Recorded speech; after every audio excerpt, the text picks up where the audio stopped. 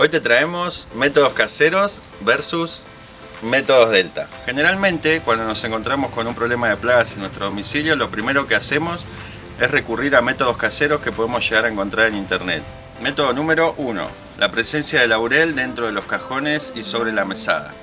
Este método aparentemente lo que quiere lograr es ahuyentar a la cucaracha, pero es erróneo. No le representa ningún problema a la cucaracha porque no cumple ninguna función el laurel. Número 2. La presencia de limoncitos o naranjas cortadas en las ventanas para que no ingresen los insectos. Este método también es erróneo, ya que cumple la misma función que el laurel, ninguna. Y vamos con el método número 3 y el último. Voy a baldear con vinagre para ahuyentar a los roedores de mi casa. Este método también es absolutamente erróneo.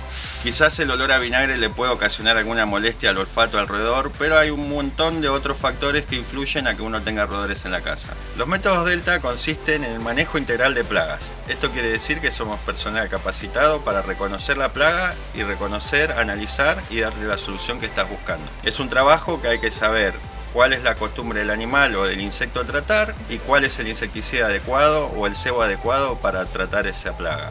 Desde Fumigaciones Delta siempre brindamos una atención personalizada y garantizamos nuestros servicios. En nuestro próximo video les vamos a estar contando la diferencia entre insecticidas de uso profesional y de venta libre. ¿Y vos?